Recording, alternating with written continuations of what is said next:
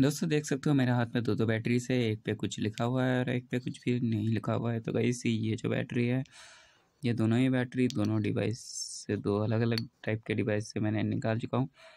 दोनों बैटरी काफ़ी अच्छे हैं, तगड़े परफॉर्मेंस वाले ही हैं।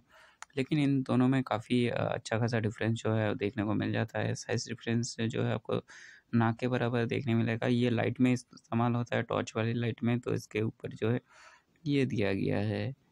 देख सकते हो यहाँ पे थोड़ी सी उभार सा दिया गया है ताकि ये लाइट में जो है अच्छे से ऐसे फिट हो सके, दूसरे वाले में ऐसा कुछ भी नहीं है। तो दोस्तों, दूसरा वाला जो बैटरी है वो मैंने यहाँ से निकला है और इन दोनों में काफ़ी ज़्यादा वेट डिफरेंस कहूँगा कि है अच्छा खासा वेट डिफरेंस है। जब मैंने हाथ, मैंने इन दोनों को अलग इंडिविजुअल वायर वायर निकाल के हाथ पे जब उठाया था, तब वेट पे जो है काफ़ी अच्छा खासा फ़र्क जो है मिला।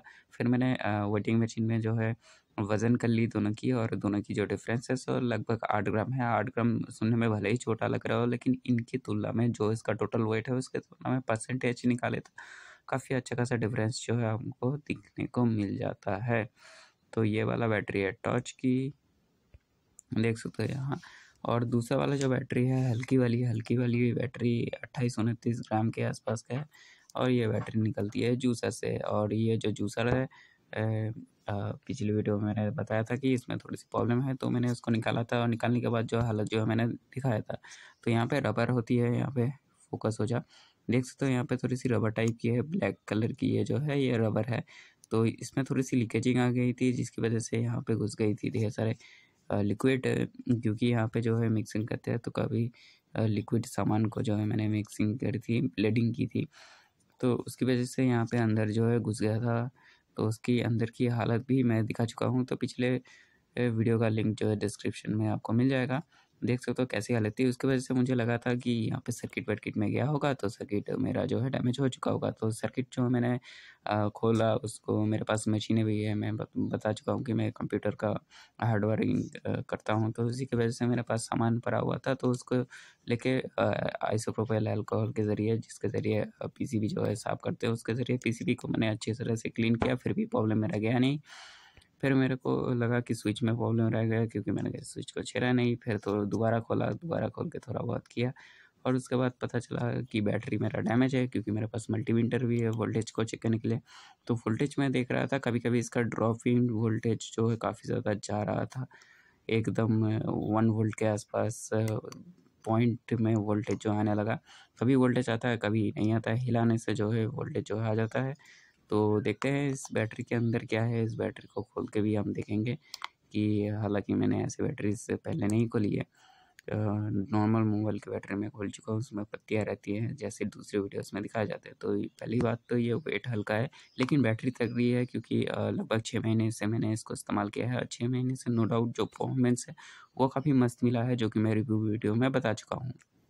पन्नी जो है, वो हटा दिया है और देख सकते हो कैसा हालत है बैटरी का फ़िलहाल देखने में।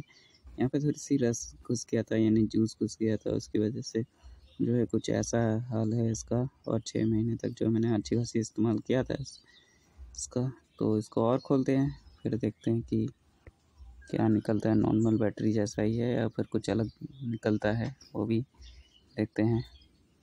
और आप लोग ऐसा कुछ भी ट्राई मत कीजिएगा, क्योंकि ये थोड़ा सा डेंजरस हो सकता है। दोस्तों, फिर से वार्निंग देना चाहूँगा, आप ऐसा हरकत बिल्कुल भी ना करें। तो मैंने बैटरी को निकाल चुका हूँ, देख सकते हो यहाँ पे कोर जो है बिल्कुल खाली है। बस भी ये जो है डिस्चार्ज बैटरी था, यानी वीक बैटरी था। कभी कभी ये वोल्टेज दे रहा था, तीन से चार वोल्ट के आसपास, और कभी कभी एकदम जो है पॉइंट में चला जा रहा था पॉइंट थर्टी के आसपास, जो कि एक वोल्ट से भी बहुत ही ज़्यादा कम है पॉइंट सेवन कम है। तो पॉइंट में वोल्टेज जाने का मतलब है बैटरी जो है काफ़ी हद तक जा चुका था।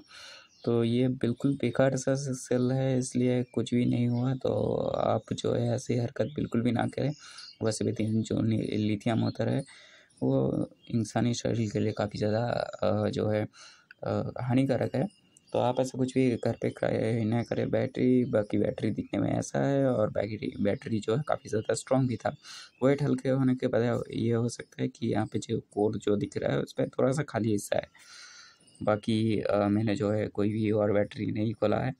ये ख़राब हो गया था इसलिए मैंने इसी को खोला है। तो दोस्तों कुछ इस तरह से है हमारा जूसर मिक्सर का बैटरी बाकी काफ़ी अच्छी हालत तक चली है। बाकी इसका लॉन्ग टाइम का रिव्यू जो है जल्दी आ जाएगा चैनल पे। तो आप ऐसा कुछ भी मतलब बैटरी बैटरी मत खोलिएगा लिथियम आयन वाले। कोई भी बैटरी मत खोलिएगा अगर कुछ प्रॉपर नॉलेज ना हो तो। तो दोस्तों मैं पे वीडियो को अंत करता हूँ। मैं मिलता हूँ उसके नेक्स्ट वीडियो में, तब तक के लिए बाय बाय